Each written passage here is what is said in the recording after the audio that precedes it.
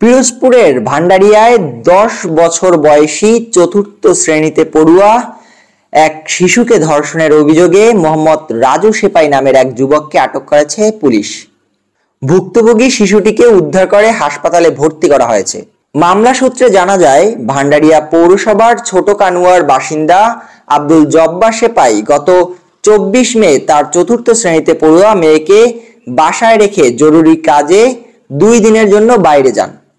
আর এরই সুযোগে একই এলাকার বাসিন্দা রাজু সেপাই রাত আনুমানিক একটার দিকে শিশুটিকে জোরপূর্বক ধর্ষণ করে।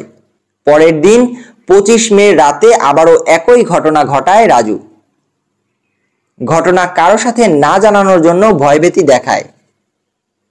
এর আগে রাজুর প্রেমের প্রস্তাব বহুবার প্রত্যাখ্যান করে শিশুটি।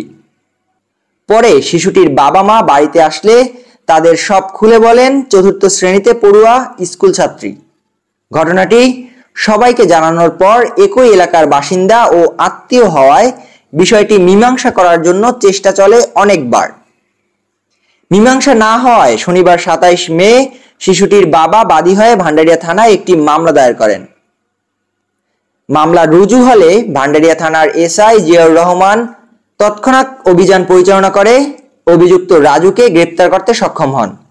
এ ব্যাপারে ভান্ডারিয়া থানার পুলিশ পরিদর্শক মোহাম্মদ মনিরুজ্জামান জানান, শিশুটি বাড়িতে একা ছিলেন।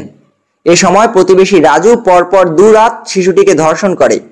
এমন অভিযোগ পেয়ে অভিযুক্ত রাজুকে গ্রেপ্তার করে থানা পুলিশ এবং তাকে আজ সকালে পিরোজপুর কোর্টে প্রেরণ করা হয়েছে। Omar Al Hasan M I television.